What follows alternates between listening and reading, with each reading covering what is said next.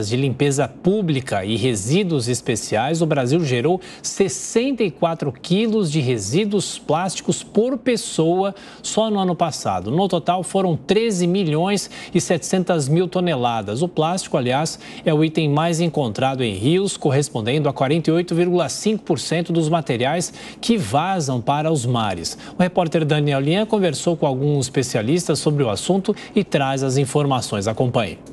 A luta para otimizar a infraestrutura e minimizar os efeitos sobre a defasagem da limpeza urbana.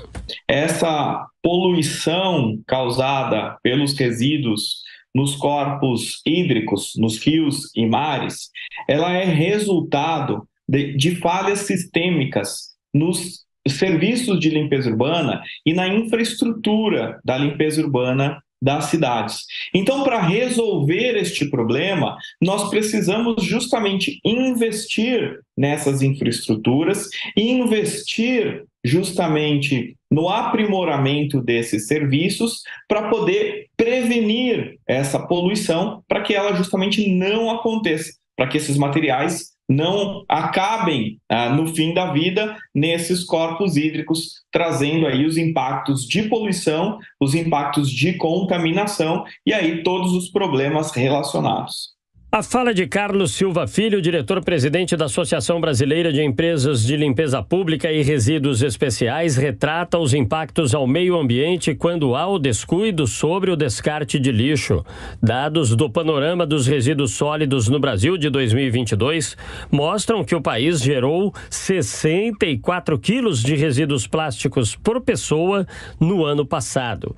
Foram 13,7 milhões de toneladas, de acordo com o estudo da Brelp.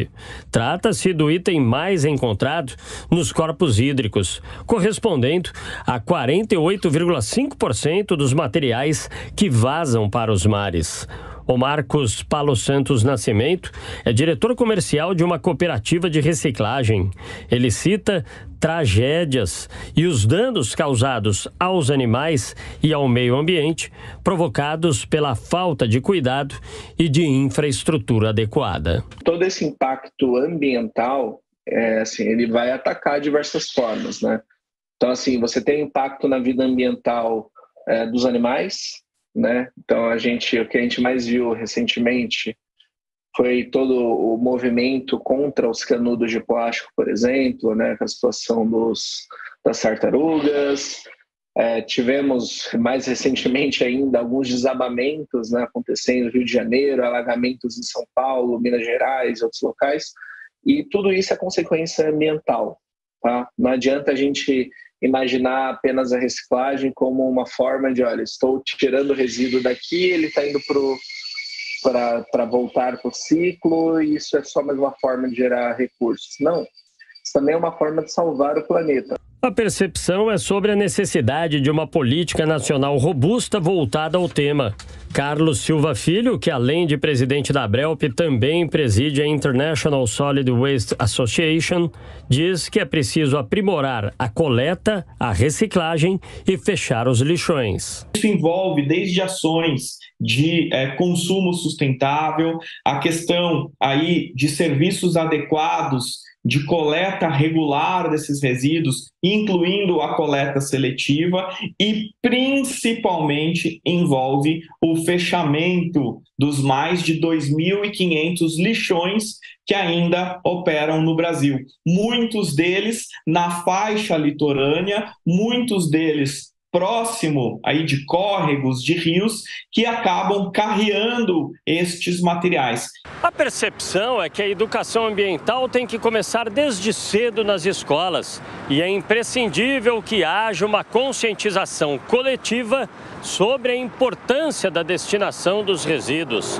Se esses fatores não forem levados a sério, a vulnerabilidade aumentará elevando os riscos de novas tragédias. Já não tem mais é, momentos que a gente consiga é, estar aterrando resíduo ou descartando de forma incorreta. Quando um munícipe ele não adere à coleta seletiva, ele basicamente está acelerando que esse processo, que a gente não tenha mais onde colocar resíduo, que a gente não tenha mais como é, ter essa sobrevida, né, que a gente não consiga mais dar essa sobrevida ao planeta. Né? Então, isso agride todos os, todas as formas de meio ambiente, tá? Fauna e flora, é, parte dos animais e acaba, querendo ou não, resvalando no munícipe também, né, com enchentes, alagamentos e afins. O estudo da Brelp revelou ainda que mais de 3 milhões de toneladas de resíduos sólidos urbanos gerados no Brasil vão parar nos rios e mares todos os anos. Volume suficiente para cobrir mais de 7 mil campos de futebol.